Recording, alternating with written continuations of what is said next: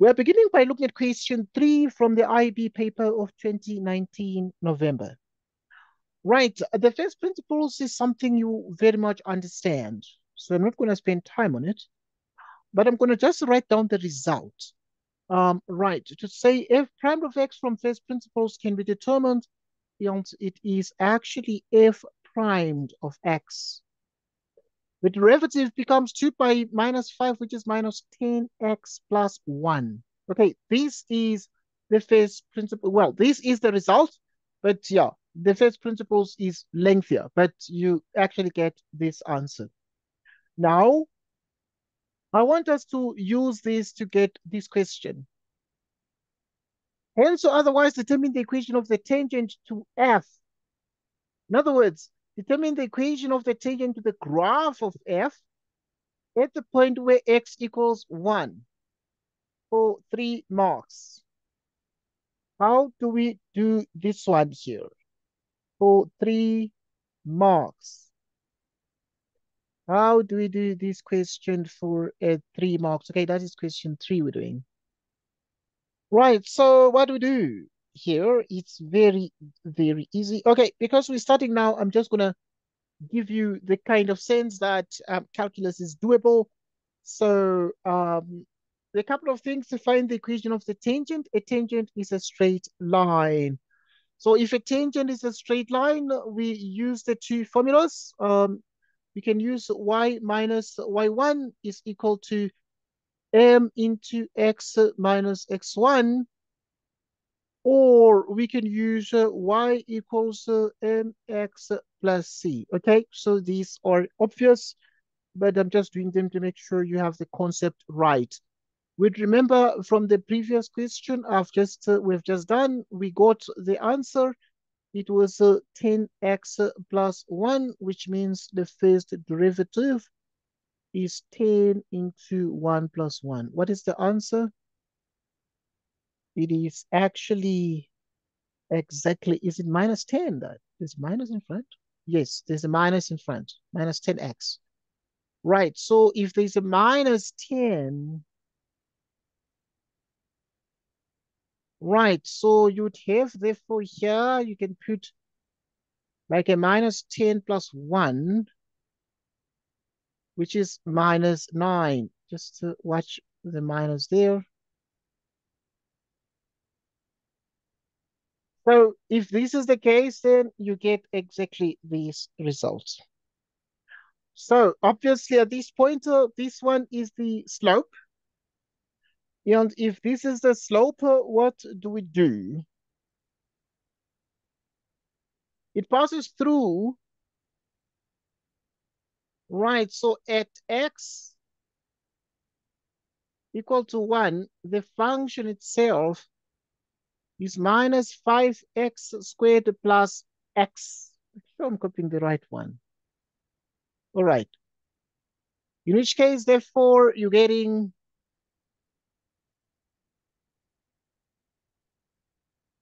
you have this, which is minus 4. When x is 1, y is minus 4. Right, so the equation therefore becomes y minus y1, which equals uh, m into x minus x1. Right, at the point uh, 1 and minus 4, you have x1, y1. The slope is already there. y1 is minus 4. M into minus 9. Which is minus 9x plus 9 plus 4, you move it across. So y is minus 9x plus what? Plus 5. Okay, I was just showing the idea of finding the equation of the tangent, and this becomes the equation of the tangent. So, yeah. Sir? Yes, yes please. So does the that coordinate there, the one to four, is it what does it represent? Okay, good. What does it represent? The code, the points, this one, Um, it is uh, the point of tangency. So in other words, so this one is a, a graph. What is the equation of the graph? It is f of x, which is minus 5x squared plus x. It is a quadratic function that is this uh, um, shape. And now there is a part where um, this um, tangent is actually meets, uh, which is called the point of tangency. So at the point of tangency, um, in other words, this tangent meets meets the graph at the point one and minus four. Um, that is why to find the equation of the tangent, we must use the the point to find the equation of the tangent because that is where uh, this tangent here uh, touches the curve. Okay, and touches the graph. Right, I'm sure you actually make more sense of this question. I just did it because it was mentioning a tangent uh, there. Okay, right, I'll try to think of these because there are more graphs we're going to look at. Next question. I'm not going to spend a lot of time on this uh, yet uh, because it's too easy maybe. Um, we'll return to some of these. Okay, uh, let me focus on graphs, please. Okay, because the other things are quite interesting. So, uh, right. Right, to continue. I just want to get to my focus on the graphs because there are many things we can like, focus on, but yeah, let's just discipline ourselves a little bit.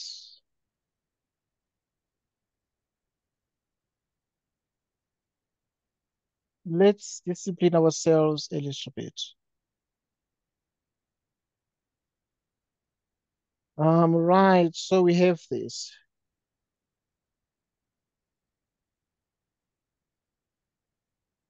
Okay, well, this one is also some graph, but yeah, it's not calculus.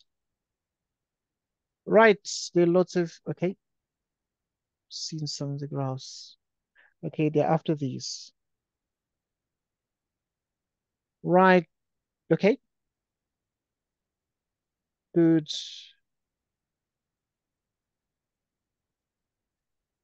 Right. Right, you have this. Okay, let's look at question nine. Um, I hope, yeah, all right. And I know, I know that we have Ayanda on the line as well. So, um, right, Ayanda is still learning these things as well, as much as, as much as Marang is learning them. Question nine, in the diagram below, the graphs of F and G are given. Right, so we have a cubic graph is the point of intersection of the graphs. So in other words, here the two graphs is the point of intersection of the two graphs. Right, so F is a point of inflection. Right, so F is a point of inflection. What is a point of inflection? A point of inflection, it's where the graph's concavity changes.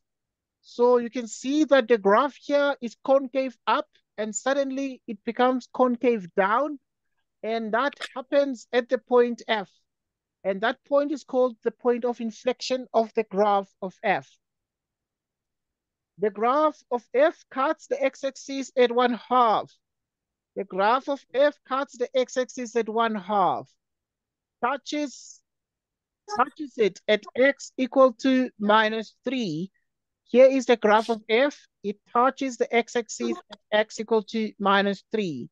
And cuts the y-axis at 9 it cuts the y-axis at 9.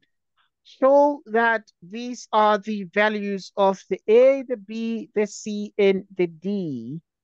Okay, so we have these nice question. Let's just uh, enjoy this question from the IB paper that I actually received from Marang. Right, now we have a couple of things to discuss obviously here to look at.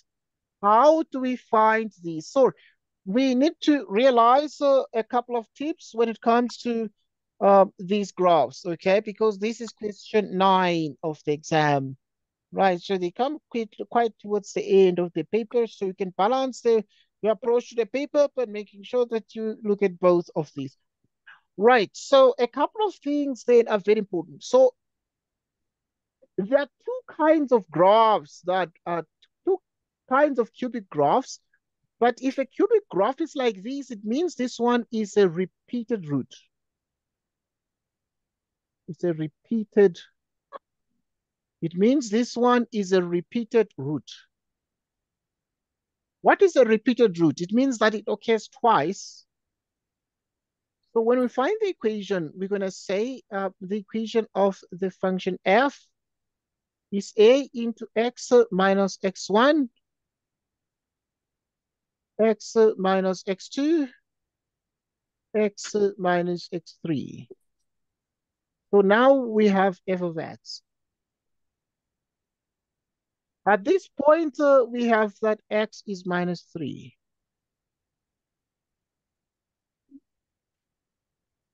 So if you want to find this, here would have x minus, right, so you put the minus 3 there.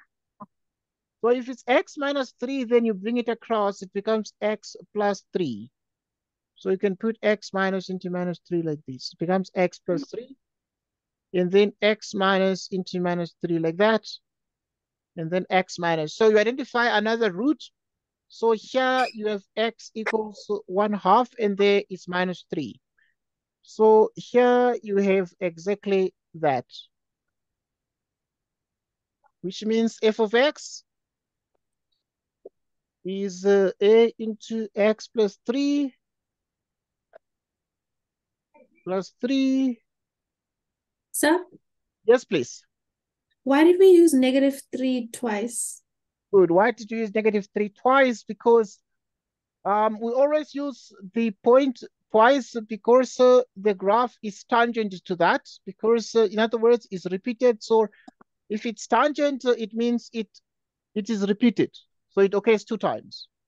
Also, if if it carried on, it would be negative three again or three. Yes, because uh, they are the graphs are multiple graphs. So if the graph is like this, then it has uh, it has different different roots. But uh, it can also be that the graph is has been drawn and it's like this. Okay, it doesn't go through. It actually it, it's the x-axis is sort of a, a tangent to the graph. So we're gonna use this point twice and this one once.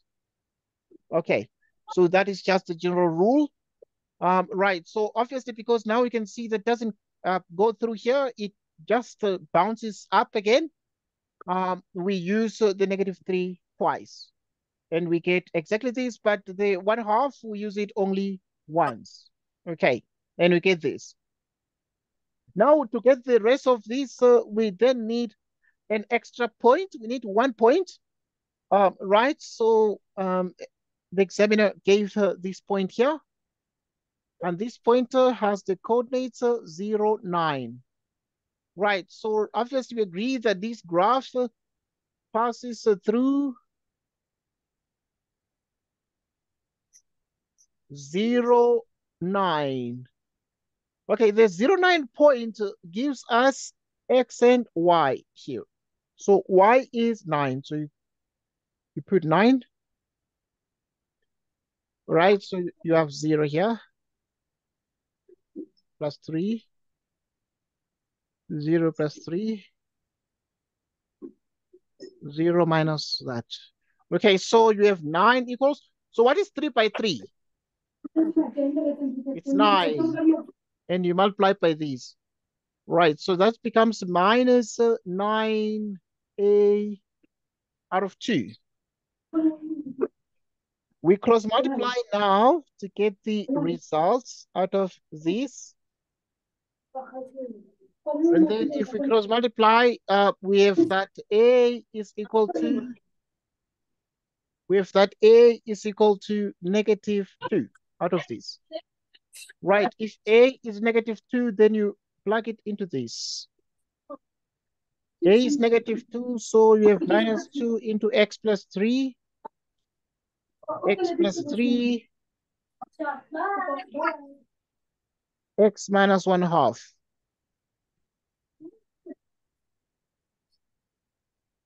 So you have this. So now um, you have this. What is x by x? is x squared. x by 3 is actually 3x plus 3x, which is 6x plus 9. x minus 1 half. Right, so we just need to expand everything here. Right, without wasting time, if we multiply everything, we get minus 2x cubed. I know you can do this. Minus 11x squared minus 12x plus 9. Okay. Right, multiply everything here. It takes a, a reasonable amount of effort. So now what we're then getting out of this is the following. Right, so A is minus 2, B is minus 11, C is minus 12, D is 9. So let's check. Minus 2, minus 11, minus 12, 9. There it is.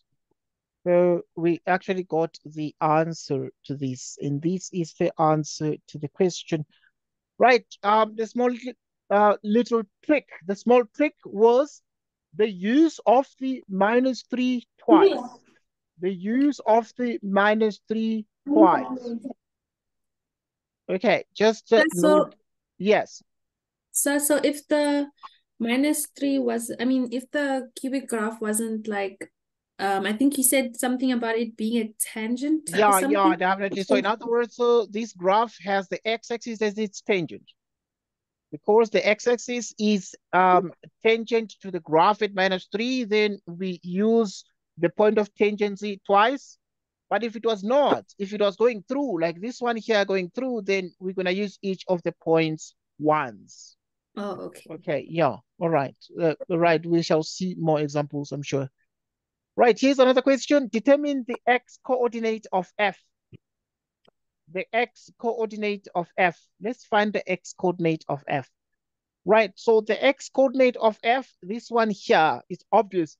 It is the point of inflection, so we find the second derivative. Right, so we already know the derivative, the, the, the equation of the function. Right, so we already know that at this point, uh, um, here you have f of x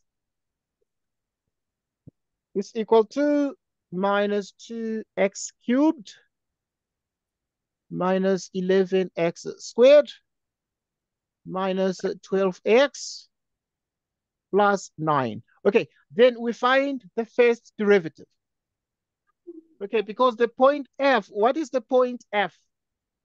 The point f is a point, is a point of inflection. Right, being a point of inflection means uh, we're going to find uh, the second derivative. Minus 6x uh, squared uh, minus 22x uh, minus 12. Minus 12x.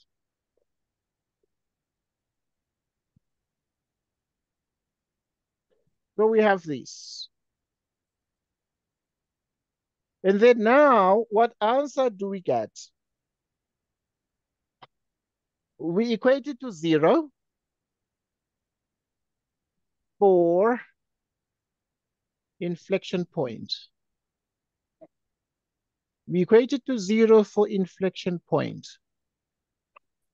Right, if you equate it to zero, we have minus 12. X is 22. We divide by that, 12. Um, divide by 2. So this is the answer. Yes. So the x coordinate, this is the x coordinate of the point of inflection. So the x coordinate is actually um, exactly minus 11 out of 6. Okay, so how do to find the product? Yes. Where do you take the 6x squared? Make it to 6x squared. To say, where did it go? Where, where did we take? Yes. Sir. Okay, good. right? It's from the derivative because the derivative now, what is the derivative? So the power rule of differentiation. Okay, this uh, uh the what we call the power rule of differentiation. What does the power rule say? It says y equals x to the n implies that uh, the first derivative dy dx is nx to the n minus 1. So that is the power rule. Okay, so if you have this, then this is the power rule. And now this you bring down n is nx to the n minus 1. So now here you bring down 3 times minus 2, which is minus 6. Then you subtract 1 from the 3, you get it 2. Okay, so in the same way, 2 by minus 11 is minus 22. Uh, 2 minus 1 is a 1. We don't write the 1, etc.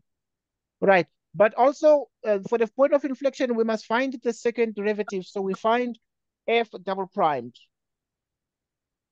Mm. Okay, so now for the double primed, we say 2 times minus 6 is minus 12x, and this one is minus 22 equals 0, which is minus 12x equals 22.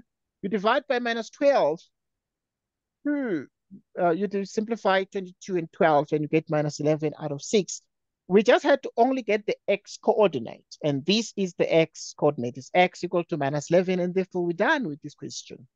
Okay, but uh, there are more questions on the graphs like this one. Here is another question. This question says that if the gradient at E of the graph of F is 8, determine the coordinates of E with three marks.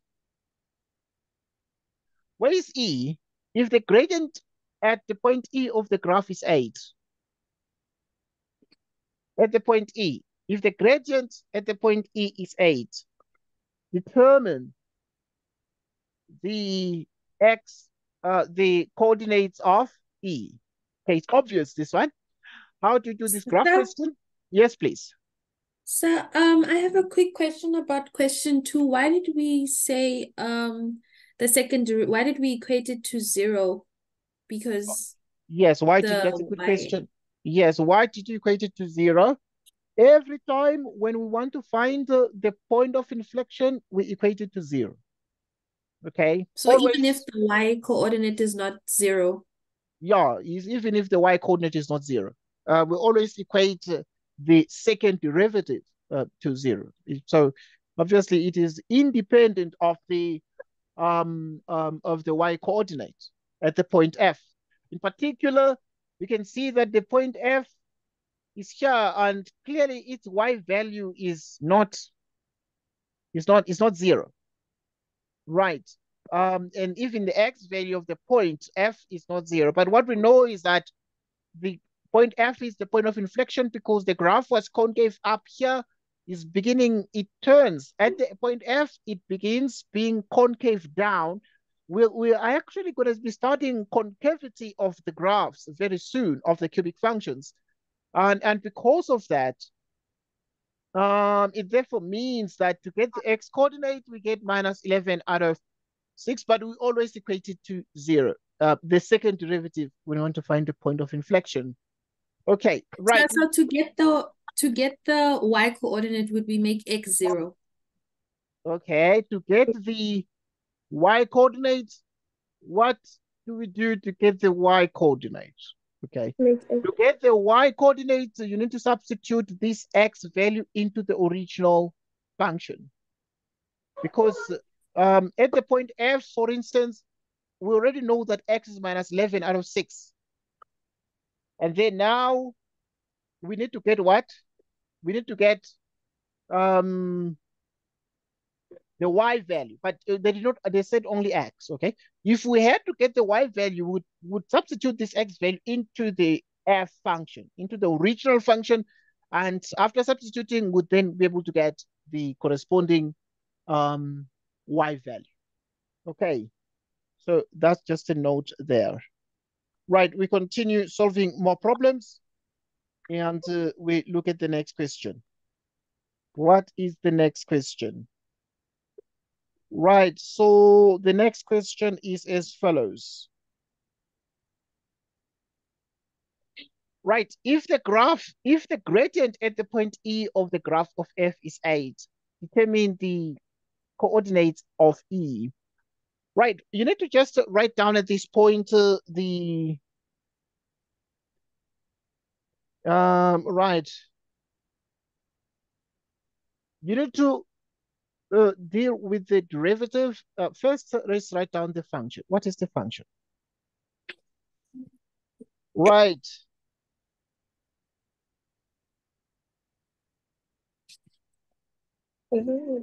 Okay, um, right. Okay, so we are here. Right, as I said, uh, now I'm having Senulo on the line as well. So, um, we were saying that if the gradient at point E of the graph of F, um, right, at E of the graph is 8. So we need to first write down the function F, but we already know it's this one. So we're going to just write it down and say we have minus 2x mm-hmm. cubed. We have Mhm. minus 11x squared. We have minus 12x plus 9. Okay, this is the original function. Let's find the gradient at the point E, mm-hmm. given the cubic function in calculus. So the mm-hmm. gradient of the function is given by what? Right, you find that what is 3 times minus 2? Is minus 6x. 3 minus 1 is 2. 2 times minus 11 is minus 22x. 2 minus 1 is 1. Minus uh, 12. Okay? Right. But what is the gradient? If the gradient at the point E of the graph is 8, the first derivative is the gradient. And the gradient is what? Is 8. Now we need to solve for x out of this. How do we solve for x out of this? Right, we show how we solve for x. So to solve for x at this point, we proceed as follows. So we have minus uh, 6x squared minus 22x. We bring down the 8, it becomes minus 20 equals 0. At this point, uh, we can deal with this. Um, what do we do at this point? We need to solve for x. And to solve for x, I know that uh, it can be done with ease. So what we do here, we can just uh, divide through by um, negative 2. Dividing through by negative 2, we have uh, 3 x squared. Uh, this becomes plus 11x. Uh, dividing by negative 2, it becomes plus 10 equals 0. And then at this point, uh, we actually are able to um, find uh, the uh, values of x. Right, so what are the, we factorize this. And if we factorize this, it becomes a 5 here and a 2 there. You make both of them plus, which means x is minus 5 over 3 or x equals minus 2. Okay. So that is what we have then. Okay, these are the x values, possible x values at the point E, but we need to choose now because there are two of them. Which one now is the correct one? Which one is the uh, x coordinate of E? Is it this one or that one? Or both of them, but they're different. Minus 5 thirds and minus 2. Let's look at the graph. Okay, here is the graph. We are asking the question, which one is the x coordinate of the point E? At this point, because this one is minus 3, so this one can only be minus 2. Or it can also be potentially minus 5 over 3. So obviously, which one is uh, the most sensible? What is, okay, so we need to use uh, the, the, the x coordinate here. What is the x coordinate of f? Okay, because now you need to uh, uh, position them well. This one, we got the x coordinate of f. Okay, you need to order them. Okay, that's why the examiner to ask. It's minus 11 out of 6. 1 point something. Minus 1 point something. So this x coordinate here is minus 11 out of 6. What is the x coordinate here? So this can only be minus 2. Hmm. Minus 2. So if it's minus 2, what you do you substitute into the original um, function. So now these are the graphs we're discussing. We're discussing the graphs here. So you need to find f at minus 2, which is minus 2 into minus 2 cubed, minus 11 into minus 2 squared, minus 12 into minus 2 plus 9. Then what is the answer to this? It is exactly 5. So when x is minus 2, y is what? Um, right. So when x is minus 2, y is 5. And therefore, the coordinates of E are these, minus 2 and 5. Okay, if you use a calculator here, minus 2, you put the minus 2 cubed and minus 11, you add everything up, you'll get 5. Okay, which, which means the coordinates of E are minus 2 and 5. But what was the question? If the gradient at the point E of the graph of f is 8, where to first find the gradient? And the gradient here is the first derivative. And now the gradient is 8, meaning the first derivative is 8. We want to find the, the coordinates of the point E. Right, so we solve for x and we get these two values of x. And obviously we have to choose uh, the value of x there and we're able to see that um, x is actually uh, minus 2 um, and 5 there. Okay, now there is another question on the graphs. If the graph of f Right. So if the graph of f has a vertical um, asymptote at the minimum stationary point, determine the equation. Okay, C, I'm giving you like two minutes to do C. Um, and then we're gonna do the corrections.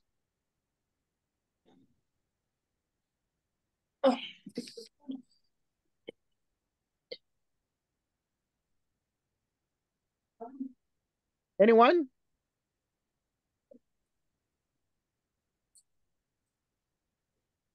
So now we want to know here, we want to find the equation of G in the form. What is P and what is Q there? Or what is the answer to this question?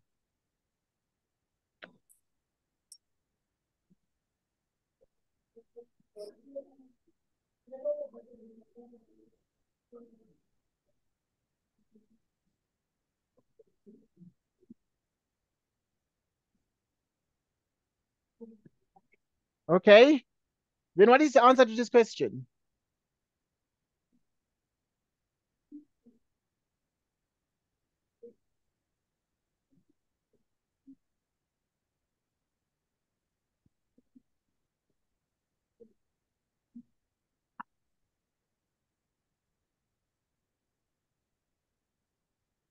Anyone?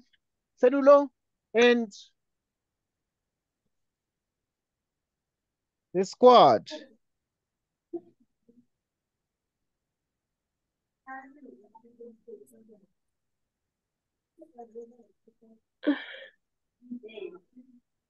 Anyone?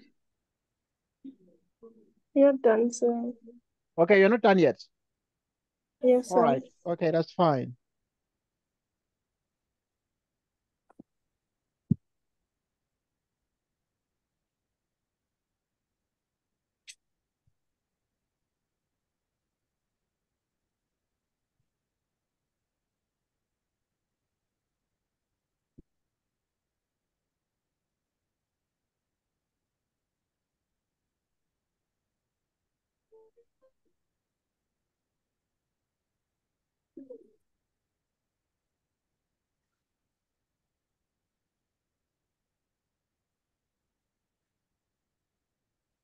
No,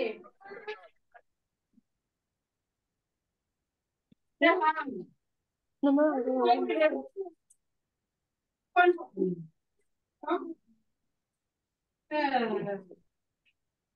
No, you need to put- Can you see the question? Can you see the question or I need to move the screen? It's fine, sir. Okay.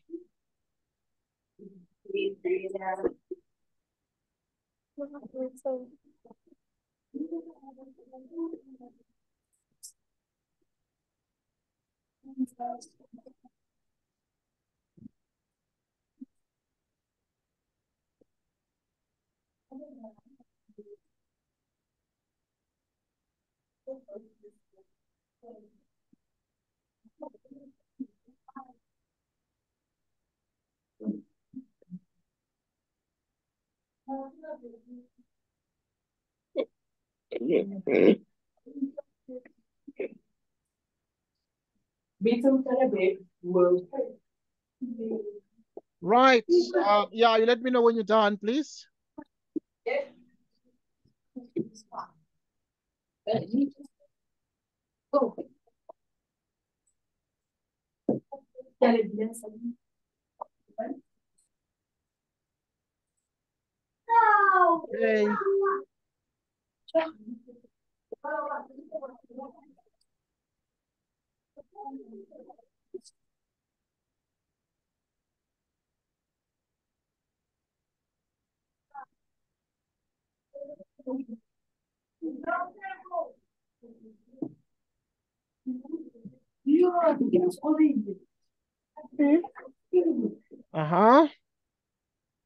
All right, let's discuss it quickly. I know that you're smart and you are just there very close to the answer.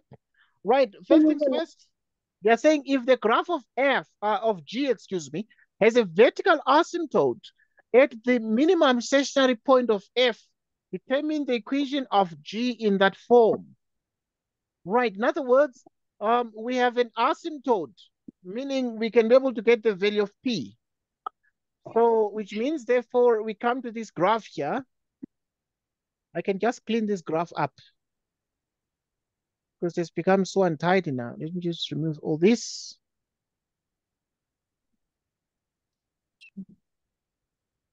Okay. And then we expand it. Okay, we are saying the graph of f, um, the graph of g has a an asymptote through the minimum stationary point. Okay, these are the stationary points, but this one is the max. And this one is the minimum.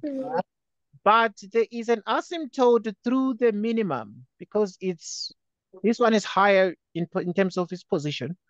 So, which means therefore at this point, x equals minus 3. That is that. So if you are to find that, that equation they want, which is 2 over x plus p plus q, what is the equation? Right, so obviously for the asymptote, then you'd have 2. So because it is x equal to minus 3, you bring it across. And then it becomes x plus 3. And then you have plus q. Right, so obviously now you just need to find uh, the value of the value of, uh, of q, but uh, it's very easy to find the value of q. Um, we choose one point on the graph of g and uh, these points on the graph of g. We have minus 2 and 5 here. Right, so obviously at the point E, which is minus 2, 5. It's uh, the point, so we are done there. We substitute gives us x and y this. So y is 5 and you have 2 over x is uh, minus 2 plus 3 plus q. Right, so we can deal with this, which means the 5 uh, is equal to, uh, right, uh, this is 2 plus q, which means q is 3, which means y is 2 over x plus 3, and q is 3. Okay, then this equation, and that is the equation.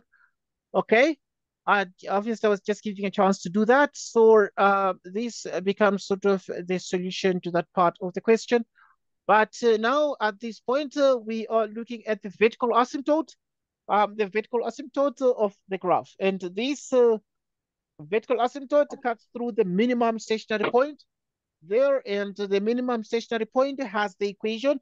The stationary point, as what are stationary points? Stationary points are turning points. And the minimum is this one and the max is that. So we have x equal to minus 3. And then obviously if you want to put it at the bottom, you transpose the 3 and it actually practically, it practically what it becomes is you have x plus 3 equals 0. And that is what you put in the denominator of the function, okay? So we have just shown how to solve this problem and uh, find the required um, the required um, equation of the graph of G. And therefore, this one here is the graph of G. This one here is the graph of G. Next question. Next question. Next question. Determine the equation of the axis of symmetry of the graph of G that has a positive gradient. So uh, this is very easy because that means uh, that means that you use uh, y equals okay positive gradient is this one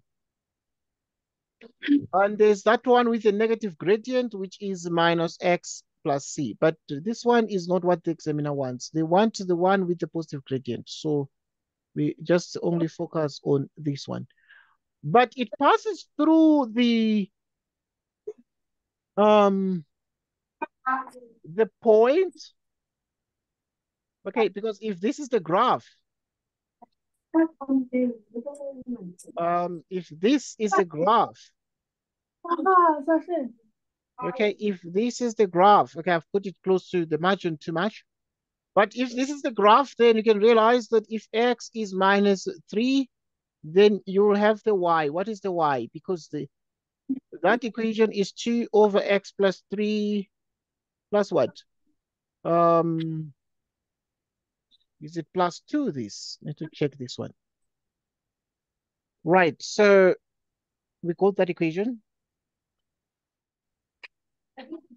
Um, right, we that equation. Okay, it is plus 3. So it's it's y equals 2 over x plus 3 plus 3. Q is 3 there, so yeah. So now we come here. You can realize that Q is 3 here. Right, if this is the case, uh, there's a point of intersection of this. So x is minus 3, the asymptotes, the asymptotes here, uh, point of intersection of the asymptote, of the asymptotes. Right, so you have this.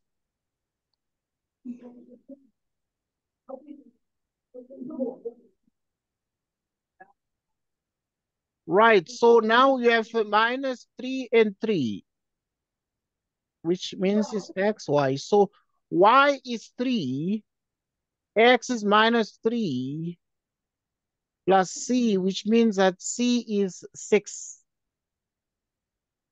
which means it is x plus c is 6. This becomes the equation um, of the what? Of the um, axis of symmetry with the positive gradient, namely the gradient 1. And uh, the one with the negative gradient, they did not ask, but they might ask the negative gradient in the exam, which is going to have minus 1. So, that, right, so this one is point of intersection.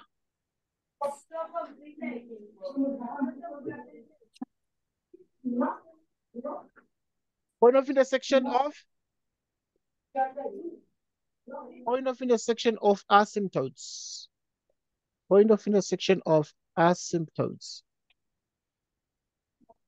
This one is the point of intersection of asymptotes. Minus 3 and 3. And this is the equation they want.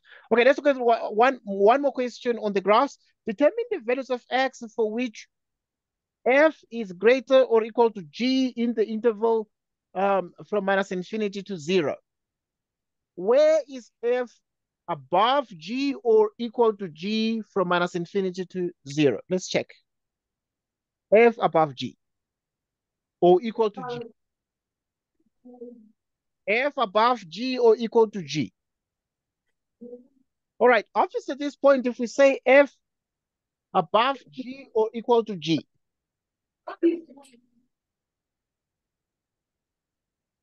f above g or equal to g, where is this? Okay, this is f now, but at this point, we can see that like here, f is below g. This is F. f is below g. And uh, now we want a part where f is above. Here, f is above g. Okay, here is g now. Here, f is above g. So f is above g now um, on this side, on the left side of minus 3. But also here, f is above g. Here, f is above g. So when is f above g? Right, so we analyze that one together. Right, which means therefore that if it's above g from minus infinity um, to minus 3 because uh, we exclude the minus 3 because there is an asymptote there. So um, one of the functions is undefined there. Um, right, uh, or union Right, union, the other part, like you have minus 2 at the point E. Right, so you have uh, minus 2, but we must stop at 0. We must stop at x equal to 0 on the y-axis. So we're going to stop at 0. Because up to 0 here, the function um, is still above there. It's still above. So you have that. So you have minus from minus infinity, the function f is above. So we're looking at parts where the function f is greater or equal to g. Um, right, so we can see here that f is above g. If it's above g, it's above because g is below. G is this graph. And here it's below. Right, but here g is above, f is below. Here f is above, but it starts being above from minus 2 just uh, after minus 2 because they're equal here. They're equal at the point E. After minus 2, uh, the uh, f is bigger, and then up to the or up to uh, the origin or up to the y-axis. And uh, up to the y-axis, we have that uh, um, the function, um, um, one of them is actually um, um, at 9, but uh, the function f is at 9, but at that point, the function f is still above the function g. So yeah, what is the answer to f uh, greater or equal to g? Um, from negative infinity to the y-axis, it is this answer from minus infinity to 3. f is above g, but also um, here f is above g there. Okay, so minus infinity to, to 3 or that. Where we have that. Or you have, uh, what is the answer here? We saw that it's minus infinity to minus 3. One of the functions uh, is undefined as an asymptote at minus 3, so we put an open uh, uh, parenthesis. And then also from the point E, we have minus 2 up to the y-axis, the function uh, there is still above. So we get that answer there.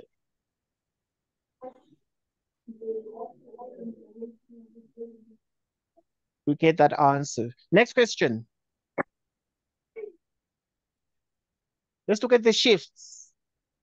Determine the values of K if the graph of F is shifted so that the new graph, this one, does not intersect the graph of G. Okay. Now, what is the graph of F?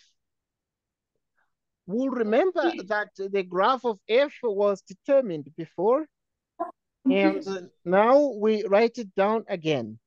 What is the graph of f? It is minus 2x cubed minus 11x squared minus 12x plus 9. Determine the values of k if the graph of f is shifted so that the new graph does not intersect the graph of g. for x greater or equal to zero. Okay, so you must find the value of k if the graph of f is shifted. So we are shifting the graph of f, this one. How do we shift it? We shift it so that the new graph, which is obtained, which is like this, which is h minus k, does not intersect the graph of g. Okay, this is what we exactly get.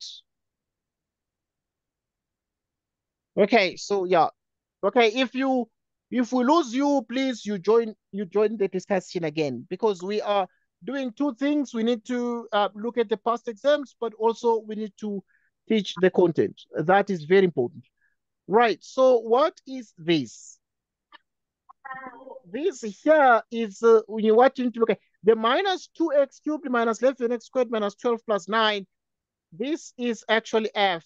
So at this point, what this is saying is that h minus k is equal to f.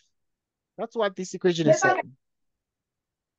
Which means that the actual function they're looking for is f of x plus k.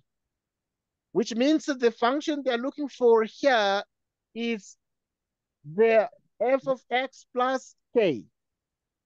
So it means that you are going to add a certain number k to the function f and produce a new function h. This new function h is such that it does not intersect the graph of g.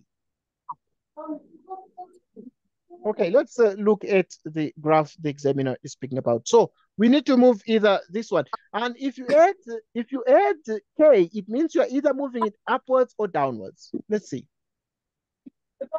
So you're gonna need to move the graph of f upwards or downwards. Okay, if you this is the graph, you need to move the graph of f either upwards or downwards um, so that the two graphs uh, do not intersect, do not intersect on the positive side of the x-axis. The question therefore is, by how much can you move it either down or up? Okay, what do you think about this question, guys? Anyone? Do you understand the question? So could you please just repeat what you said? Okay, now what they're saying here is you need to move this graph of f. You need to translate the graph of f. It's the cubic function. You need to translate this cubic function either up or down so that it does not touch the graph of g when x is greater or equal to zero. So from here onwards, from the origin onwards to the right, from the origin to the right. The question is, you must find the value of values of k here. Uh, just showing the, okay, here, here's the question. Determine the values of k. We need to find the values of k. If the graph of f is shifted, so you need to shift that graph of f. I'm going to go back to the graphs again, okay? But now you need to shift, the graph of f is shifted so that the new graph is uh, h minus what? The new graph is exactly h minus that. The new graph is h minus k, and it is the graph of f. Does not intersect the graph of g, okay? Does not intersect the graph of G for x greater or equal to zero. When x is, is, is, is zero or more, the graphs do not intersect. Then you must find the values of k. What are those values of k that do this job? That is what the examiner wants.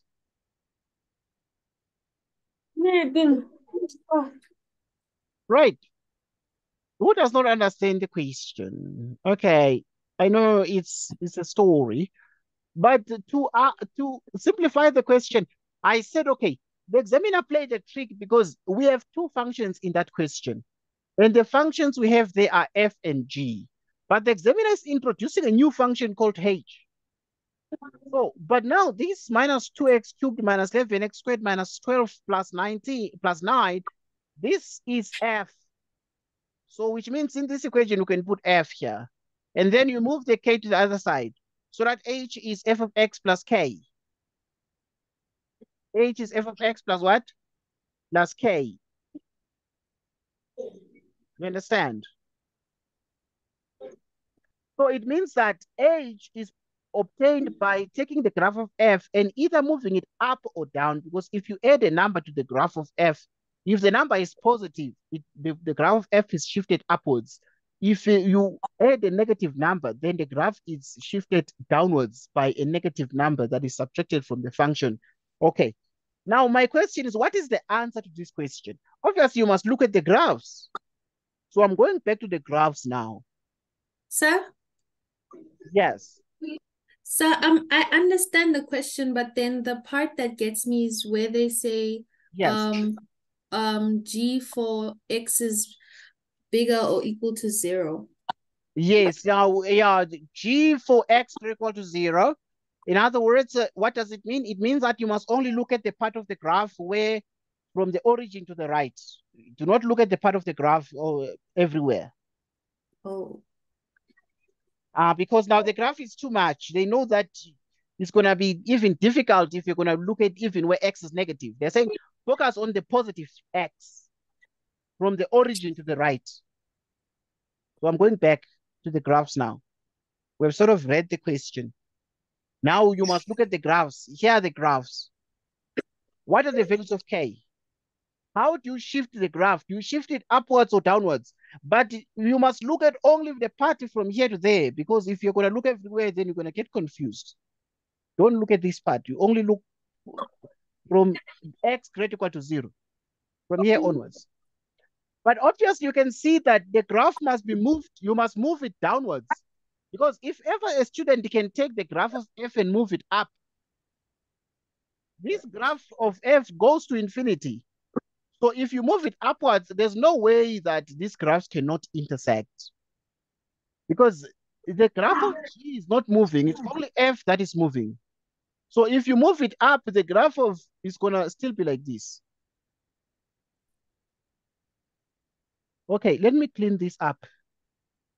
Let me just remove everything here so that it's tidy because it's just too messy already and you might get confused because now you are you are just it's too actually clustered.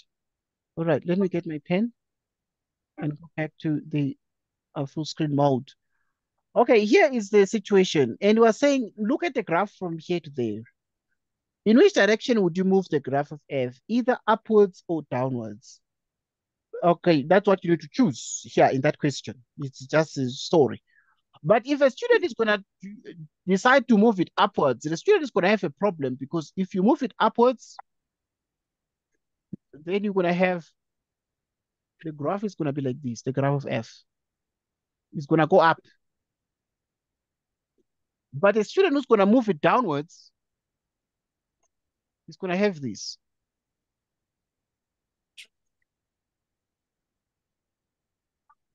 It's going to have this.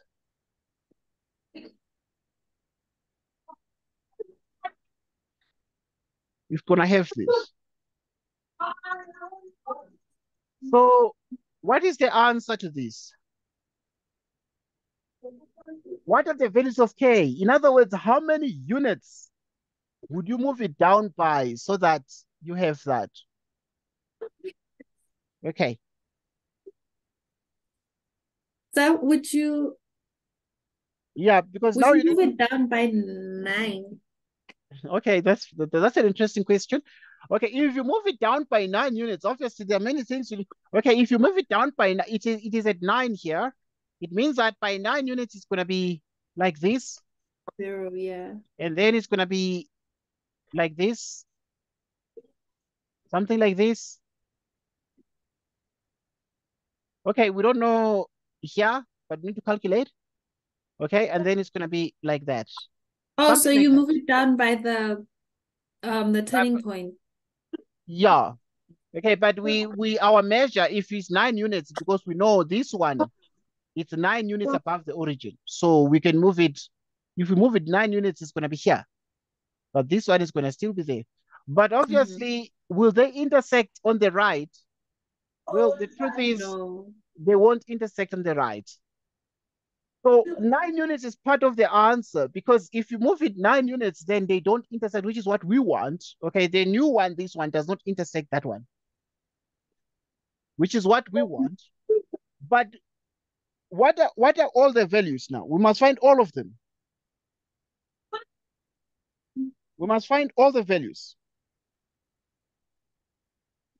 So I'm I'm I'm thinking that it has to be the the the asymptote for G. Mm-hmm. Yes. Okay. The asymptote for G is giving a hint. You're, you're on point. Okay. So obviously one thing is we need to know the y-intercept of the graph G here. So we'll have to know the y-intercept for um right. What is the y-intercept for G? We need to know because this is G, but we want to know here. Okay, because now we're going to move it to here. Um, by how much, etc. Okay, we need to just do some measurements. So we need to say for G, the y-intercept. Right, so to get the y-intercept for G, what is the equation for G? It is 2 over x plus 3 plus 3. Okay, to get the y-intercept, you let y, you let x be 0. And therefore, when x is 0, y is 11 out of 3. y is 11 out of what? y is 11 out of 3. So it means, therefore, the y-intercept for g, this one here is uh, 0 and 11 out of 3.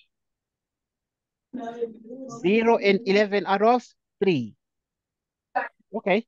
Now, the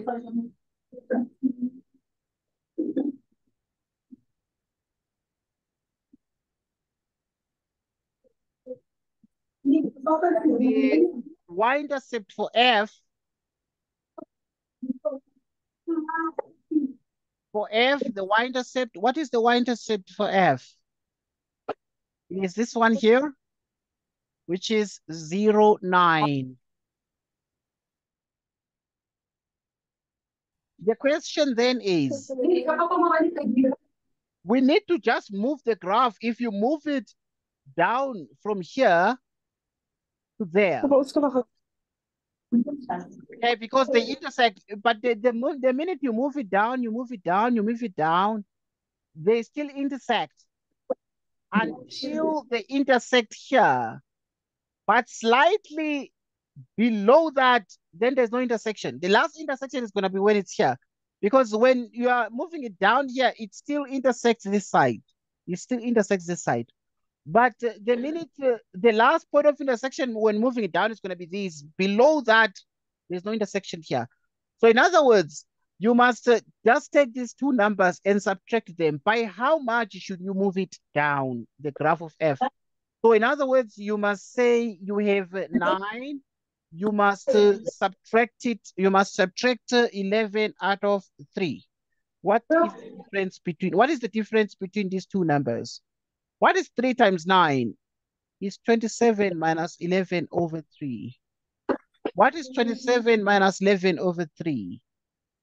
It is 16 out of 3. So you have 16 out of 3. It means, therefore, you must move it down so that they do not intersect. If you move it down by 16 over 3, they intersect. So you must take it um, further below that. So in other words, you need a number that's going to be such that k is smaller than minus 16 over 3. It must go below the 16 over 3 it must go below 16 over 3. Because if you move it only 16 over 3, 16 over 3, then it's going to be here. But if, if you move it below 16 over 3, that's what we're saying. Mm. We're saying below 16 over 3. But because you are subtracting, you are, you are moving it downwards. If you are moving it downwards, you are subtracting. So the 16 over 3 must be negative. Must be negative. Okay, try to think about these questions. It's a little bit tricky, but it is, it is always there in the exam paper. Okay, um, of shifting the graph. Try to make sense of it. Because as I indicated that if you move it by, if you want to find the difference between this 9 and, and, and the 11 over 3, you move it down by 16 over 3 units. Then here they intersect, there's a point of intersection. But if you move it further down to this point, then uh, they don't, um, um, the, the last intersect, the last point of intersection is going to be here when this move down. But further down, then um, there is no intersection. So you must say you must move it more, more than 16 over 3 so that they don't intersect. How do you say more than you must move it down. To move it down, it means you must you must consider a negative value of k, the negative values of k. So what is the answer here?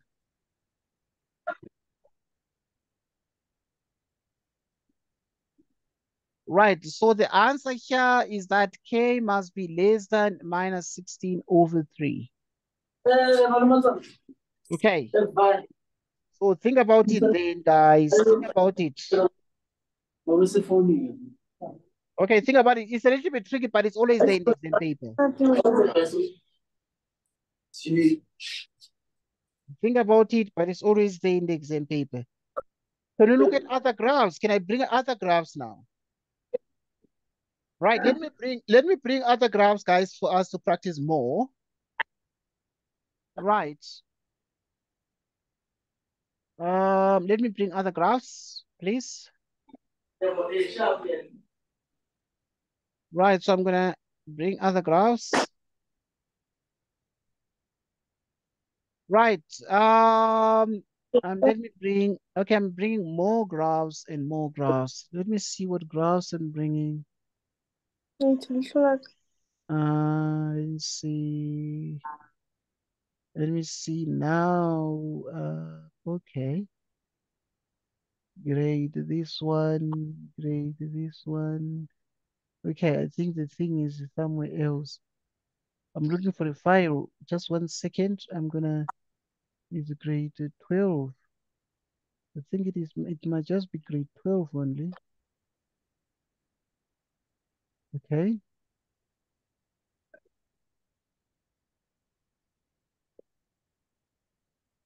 Okay, yeah, it's this one. So I'm gonna open this one. All right, let's look at more graphs. Right, there are more graphs um, in this uh, material here that I'm opening now. Right, so I have tons and tons of the graphs here. So stay tuned now. We're going to have more graphs on. Um, okay, somebody suggested we do more graphs. Uh, right, so I can bring another paper. I have another paper, but yeah, let me just, I'm doing graphs. And then we can do the other things. Let me see. Okay, I'm just uh, looking for the graphs. In this book, it's, it's too many pages, but I'm looking for graphs because um, uh, because uh,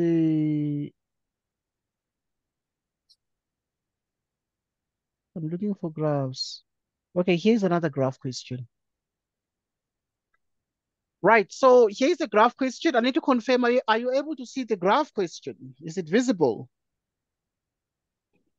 Yes, sir. Yes. Okay, thank you.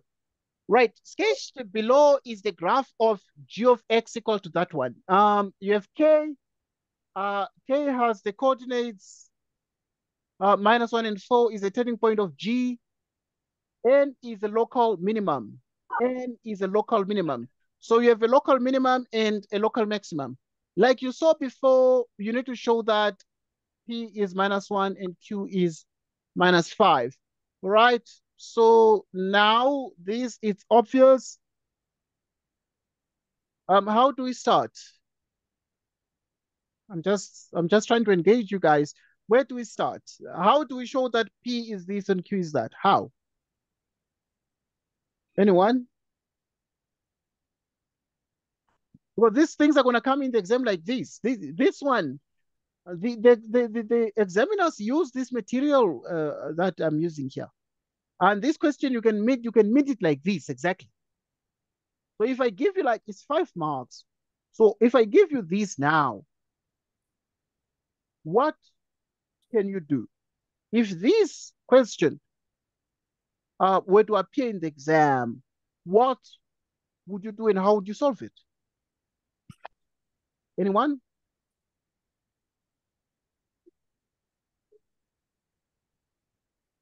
How do you show that P is, is that and Q is that? How?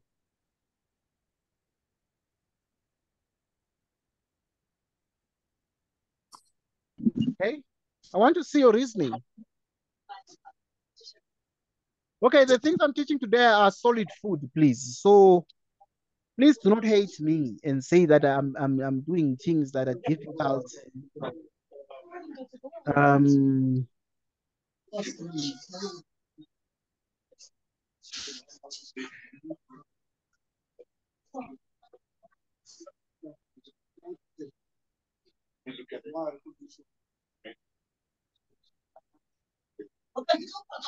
all right. All right, all right, all right, all right.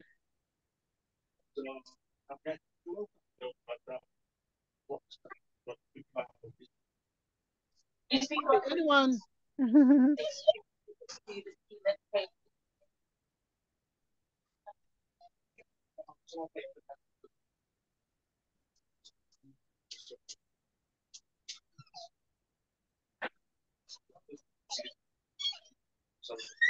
All right. Anyone? This one? I'm having Tenulo. Tenulo, what do you think? I'm having the Marang. Marang, what do you think? I'm having Ayanda. Okay. I should have invited more people, but some people uh, have no electricity in their in their areas. It's load shedding.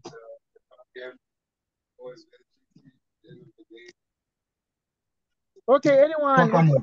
What is the answer? Anyone? Want to show that P is this, obviously, etc. What do we do? What do we do?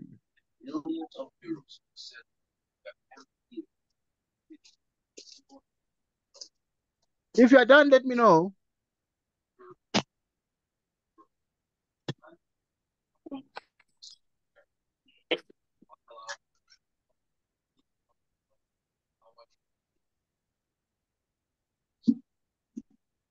Okay, if you are done, let me know.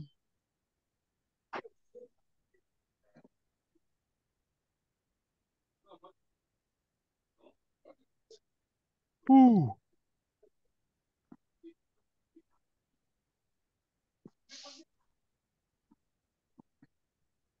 If you are done, let me know.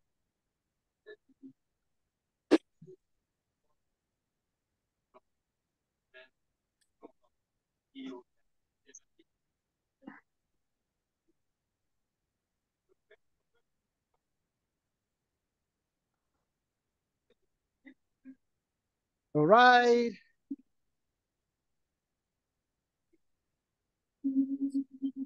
No one, no one, no one is saying to me they got the answer. The mm. answer is P equal to minus one and Q equal to minus five. My question is, who has got those answers? That is my question. Who has got those answers? Hmm.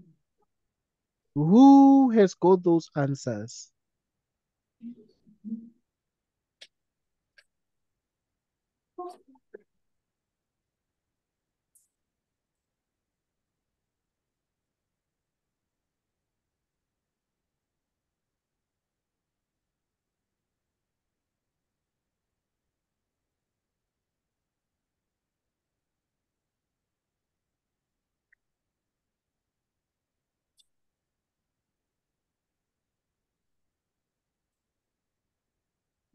Okay.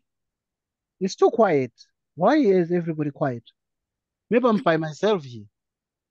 I have, uh, we are four here. So you're so busy with it. Okay, that's fine.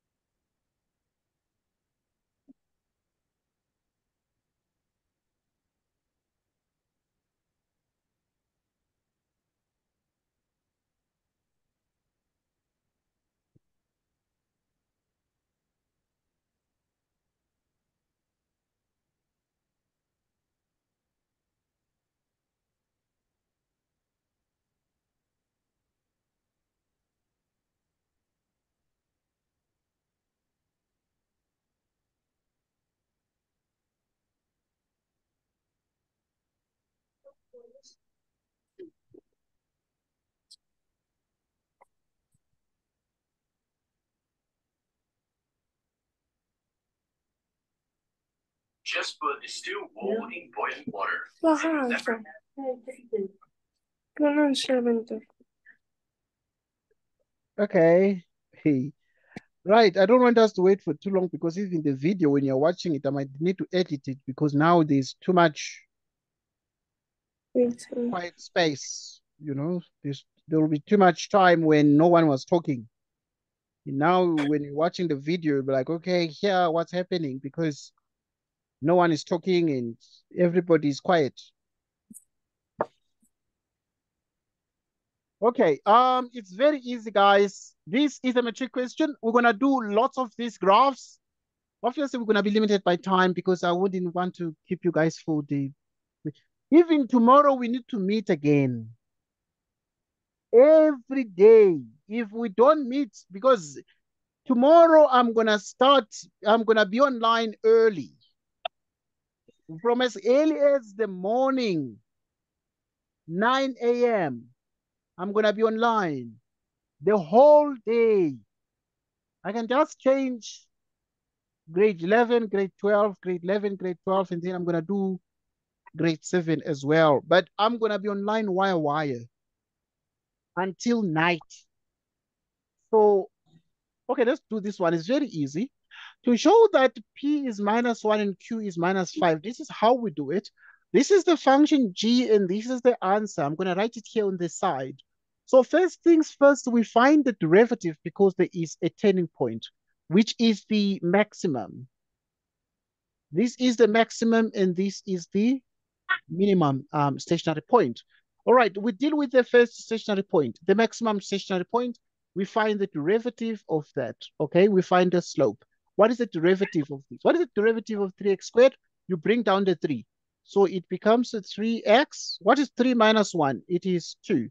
What is 2 times p? Right, so we have twice px plus, now you have the q. The derivative of this one is q. This is the derivative, and now this derivative, you must substitute the turning point. This one here. So at the turning point k, with the coordinates uh, minus 1 and 4 you have x and you have y, right?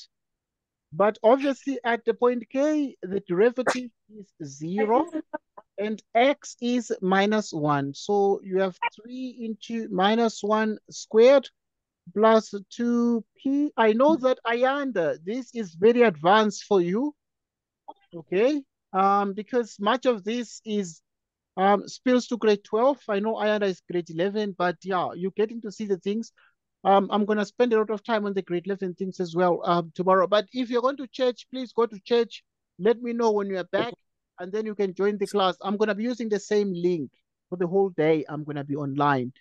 Um, right, so you have these now. You multiply 2p times minus 1. So this is minus 2p here plus q. And then now this one is 3, but if you bring it across, it becomes minus 3, and this one, you can call it equation 1. And then we have simultaneous equations to solve, because now this point, we can use it twice. It's also a pointer on the, um, that is uh, on the function. So at the point K, with the coordinate minus 1, 4, you take the function G. You write it down. What is the function G? It is uh, g of x, which is x cubed plus uh, px squared uh, plus uh, qx plus 1. I'm just copying this. X, y are the coordinates. So y is 4, which is uh, minus 1 cubed uh, plus p into minus 1 squared plus uh, q into minus 1 plus 1. Right, so what is the, okay, there is, is, is an answer here. Yeah, okay, right. So I want one-on-one lesson to help me understand everything better. From scratch like we spoke. Okay, that's fine, Senator. That's okay. okay, so I'm gonna organize those uh, during the course of the night. Remember, with me, I'm here 24/7. Um, I can organize a class even as the, after midnight, 12 midnight, or at 1 a.m. I can always organize the class for two hours, 1 a.m. to to 3 a.m. Uh, right, so it's not um, it's not train smash there. I understand, uh, Senator. Okay. Right, so now we have these. So let's manipulate this equation. We have minus 1 squared. It becomes just a plus p minus q. And then now you have uh, minus 1 plus 1, which is 0. Which is 0. Is equal to 4. And then we have equation 2. Okay, if you look at the equation one, so we're going to focus on this equation here. We're going to focus on that equation and this equation here. Equation one and equation two. And then we take these two equations to solve them simultaneously. What do what can we do with these equations? We can decide to add them up. Okay? If you add them up, like if you say 1 plus 2. Okay, if you say 1 plus 2, what is minus 2p plus p? Is minus p. And then you have q minus q, which is 0. You have 4 minus 3, which is 1.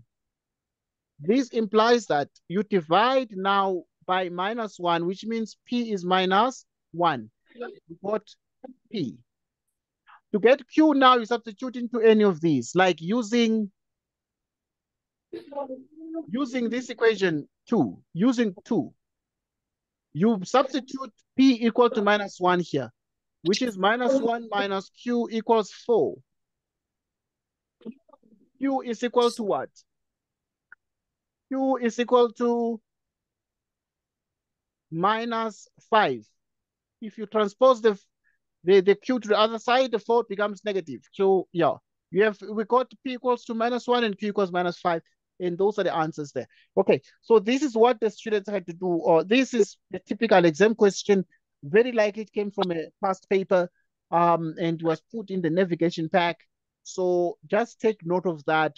Once again, Ayanda, I'm aware that this is just a bit advanced now because it uh, reaches the grade 12 level but uh, you are just a few days away from matric. We are counting days now to matric because this is the exam. This uh, is the exam period, final exam period. So now you can even begin doing the matric in December. You can begin the, doing the matric in December so that by January, you're already done with the syllabus. And when the teacher comes to class at your school, you're already revising. Determine the coordinates of n. What are the coordinates of n? Where is n? n is this one. Who can find the coordinates of n? Tell me what the coordinates of n are. Anyone? What are the coordinates of n?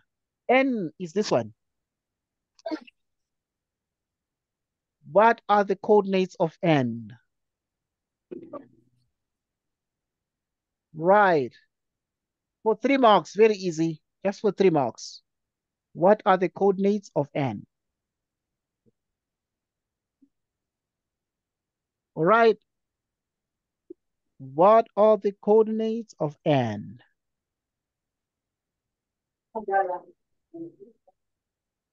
Too easy.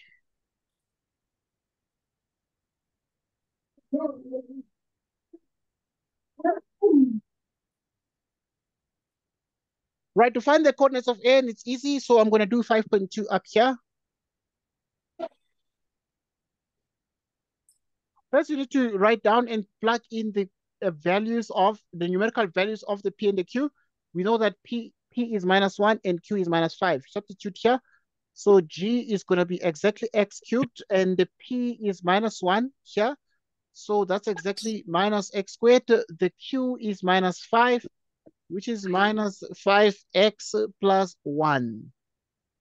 Um, this is what we get here.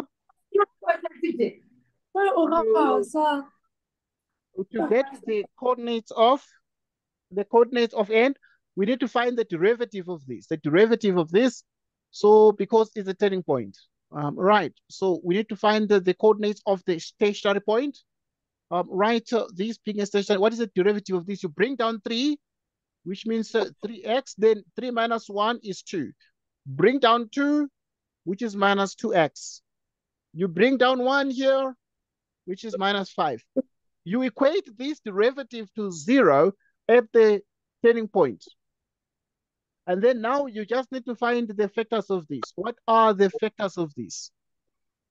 Right, so the factors of this can be easily determined. What are the factors of this? Um, right, the factors of this are x plus 1 um, together with 3x minus 5. Which means that x is uh, 5 out of 3. x is minus 1. Okay, so which one is the correct one? x is minus 1 is, is also according to the turning point. So at this point, x must be 5 thirds. x is 5 over 3 at this turning point. So we found the x coordinate of this turning point, and you can see that it is 5 over 3. Right, so x is 5 out of 3 here, and uh, it is exactly that one, okay? We had to find the coordinates of, okay, but obviously the coordinates are easy because coordinates means you must find both x and y. What is the y value at the point n? Anyone? Zero. Well done. right. So we don't we have nothing to calculate. It's zero already. It's zero already because we're on the um, um uh, x-axis. So yeah. Um, right. So the coordinates here, the answer would actually be um five over three together with zero. Right. The next question. Right. The next question is calculate the x value of the point of inflection of G for two marks. Okay, I'm going to remove some of these to clean up the board. I'm going to remove some of these because this is just too much. Um, right, we already know the answers here. So let me just remove this. Yeah, all this. Right, because otherwise then you actually not be able to see very well. I can even cut this part. Okay, this video is being recorded, so you'll have a chance to watch these things and write them down. Um, right, so let's um continue. Right, now at this point, we're interested in, in solving 5.3. Want to get the x value of the point of inflection. Right, like I said before, the point of inflection is obvious. So in 5.3, we start, we plug in P equal to minus one and Q equals minus five, which means uh, G of X equals, uh, the P is minus one. So you have exactly X uh, cubed minus X squared, and the, the Q is minus 5X uh, plus one. Right, so you have this. The point of inflection, you must find the second derivative the first derivative of this, you bring down the three here. Um,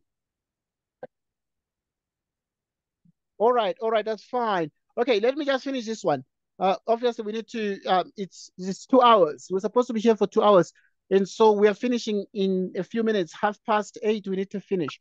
Thanks, Marang, for obviously notifying me. All right. Um, so at this point, do you bring down the 3, which is 3x. What is 3 minus 1? You have 2. You bring down 2, which is minus 2x. Sir. Here, you bring down... Um, Sir, yes, please. Uh, you will send me then and uh, update me about that. Uh, you. Yes, yes. Yeah, yeah, yeah. Definitely. The one on the one-on-one discussion. Okay, that's fine. I'll update you when I'm free during the course of the night. Okay. okay, so Okay, okay, thanks, Senulo. That's fine. All right, Senulo. Right, we find then here, we proceed, we find the second derivative, and you bring down the, the, the 2, which is 2 by 3, which is 6x minus the derivative of this is 2. You equate it to 0 for the inflection point, and uh, which means that uh, 6x is equal to 2, which means x is 2 out of 6. 2 cosine times into 3, it goes uh, 3 times, which is one third. So now we're interested in the x value of the point of inflection, and the x value is actually 1 out of 3. 1 out of 3. Right. Um, I have Ayanda, and I see that Ayanda is a is a very good student. Much of this, I understand, Ayanda is actually it pitches. I'm doing a bit more advanced things tonight, um, to also prepare for the the, the matrics as well. Okay, so, um, obviously, I got you guys mixed up um this evening because I should have had you earlier today, but I understand that you are busy with a couple of things. Right, we need to lastly determine the equation of the tangent to the graph of f at the point where x equals minus 2. How do we find the equation of the tangent to the graph of g? So you must find the gradient at this point. Right, to find the gradient at this point uh, for the question 5.3, you start with g of x which is x cubed minus x squared minus 5x uh, plus 1. Uh, you get the derivative, which is the gradient, so which means uh, you find uh, g primed of x, which is, we're finishing now, I under. Okay, the derivative, because obviously I know this is new to you, you bring down the 3, you subtract 1, which is 2. You bring down the 2, you subtract 1, which is um, only 1, and then the derivative of this one is of x, uh, x is to the power 1, you bring down 1, which is minus 5, you subtract any of that. Okay, look, the derivative of these therefore becomes equal to, at this point, minus 2. So you find, yes, please. So you have this, which is 3 into minus 2. You square this, minus 2 into minus 2, minus 5.